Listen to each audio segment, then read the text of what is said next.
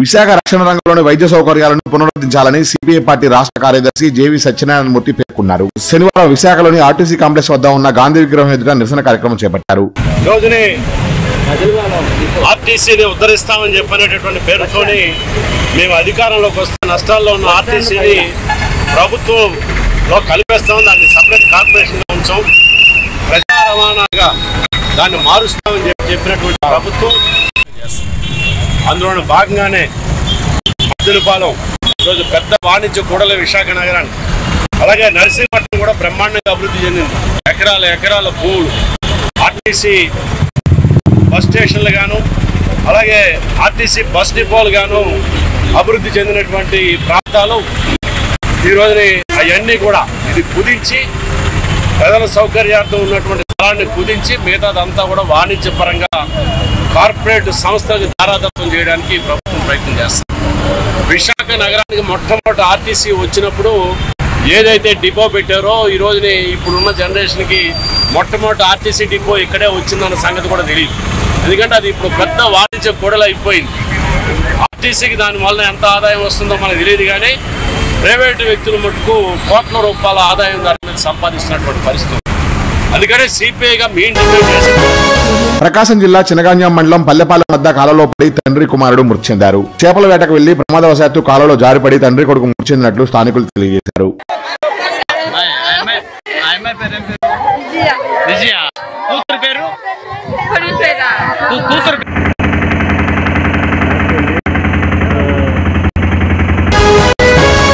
ముఖ్యమంత్రి వైఎస్ జగన్మోహన్ రెడ్డి మహిళల కోసం ఎన్నో సంక్షేమ పథకాలు ప్రవేశపెట్టి వారికి అన్ని విధాల సహాయ సహకారాలు అందించడం నిజంగా గొప్ప విషయమని విశాఖ ఉత్తర నియోజకవర్గం సమన్వయకర్త కేసీఆర్ రాజు పేర్కొన్నారు. ఆంధ్రప్రదేశ్ రాష్ట్రం మొత్తం కూడా మహిళలందరూ ఒక పండగ వాతావరణంలో ఈరోజు సుఖ సంతోషాలతో ఆనందోత్సవాలతో జగన్మోహన్ రెడ్డి గారికి కృతజ్ఞత తెలుపుతున్నారు.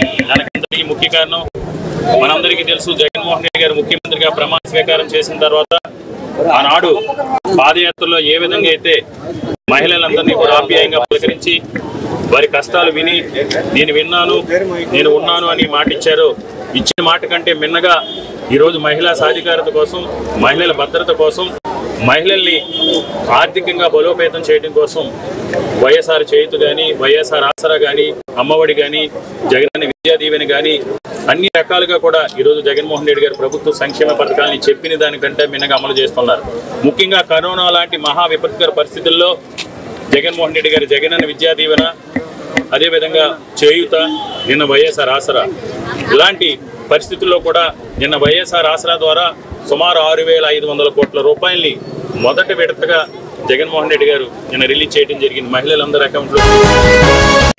వైఎస్ఆర్ కడప జిల్లా రైల్వే కోడూరు నియోజకవర్గం వైఎస్ఆర్ ఆసరా వారోత్సవాల్లో భాగంగా ఈ రోజు ఓవులవారిపల్లి మండలంలో వైఎస్ఆర్ ఆసరా పథకమును కొరుముట్ల శ్రీనివాసులు ప్రారంభించారు. ఓవులవారిపల్లి మండలంలోని ఏడు వందల ఇరవై ఐదు గ్రూపులకు గాను తొలి విడతగా ఎనిమిది కోట్లు వారి ఖాతాల్లో జమ చేశారు. మా ప్రభుత్వం మాటల ప్రభుత్వం కాదని చేతల ప్రభుత్వం అని మహిళలకు అండగా జగనన్న ప్రభుత్వం ఉంటుందని ఆయన పేర్కొన్నారు. మండలంలోని పొదుపు సంఘాల మహిళలకు మెగా చెక్ అందించారు. అనంతరం ముఖ్యమంత్రి వైఎస్ జగన్మోహన్ రెడ్డి చిత్రపటానికి పొదుపు సంఘాల మహిళలు పాలాభిషేకం చేశారు. ఈ కార్యక్రమంలో Eswaraiah MPDO Vijayarao Railway Koduru CI Anandarao Obulavaripalli SI Nayak మండల వైఎస్ఆర్సీపీ నాయకులు నూక జైపాల్ రెడ్డి ఓజీ శ్రీనివాస్ రెడ్డి సాయి కిషోర్ రెడ్డి మండల నాయకులు మరియు పొదుపు సంఘాల మహిళలు తదితరులు పాల్గొన్నారు. ఆరు వేల ఏడు వందల తొంభై రెండు కోట్ల రూపాయలు. దగ్గర దగ్గర ఎనభై ఏడు లక్షల దగ్గర దగ్గర తొంభై లక్షలు తొంభై లక్షల మంది స్వయం సహాయక సంఘాల సభ్యుల అకౌంట్లో నిన్నటి దినాన మొదటి విడతగా జమ కావడం జరిగింది.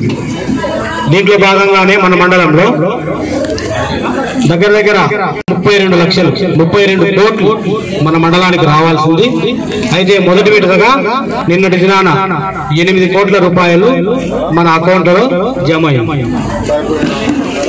ఇదే కాకుండా మహిళలకు ఏ స్కీమ్ చూసినా ఈరోజు ప్రభుత్వం అమ్మఒడి అమ్మఒడి ద్వారా ఆరు వేల మూడు వందల యాభై కోట్ల రూపాయలు మహిళల అకౌంట్లో జమ కాబడి అట్లే జగనన్న వసతి దీవెన ఇది కూడా దగ్గర దగ్గర పన్నెండు వందల కోట్లు.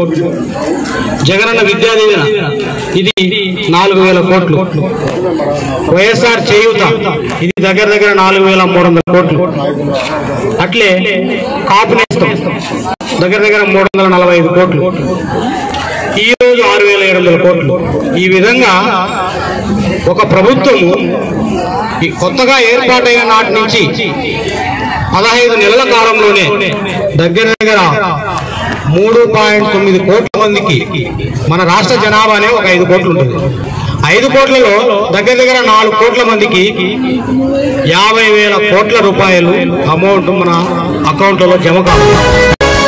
గాజువాక జీబీఎంసీ డెబ్బై ఐదో వార్డు పెదగండాడ జంక్షన్లో వైఎస్ఆర్ ఆసరా వారోత్సవాల్లో భాగంగా వైసీపీ వార్డు యువ నాయకులు గొందేసి శ్రీనివాసరెడ్డి ఆధ్వర్యంలో YCP Gajuwaka in charge Tippal Devan Reddy మరియు వైసీపీ ఎస్సీ ఎస్టీ సెల్ ప్రధాన కార్యదర్శి మాటిపూడి పరదేశి పాల్గొని పాలాభిషేకం చేశారు. ఈ కార్యక్రమంలో ధర్మాల శ్రీనివాసరెడ్డి కొయ్య భారతి నక్కా వెంకటరమణ ములకలపల్లి వెంకటేష్ నాగిరెడ్డి పిట్టారెడ్డి చక్రి సంపంగి ఈశ్వరరావు తింటారో తదితర వైసీపీ నాయకులు పాల్గొన్నారు.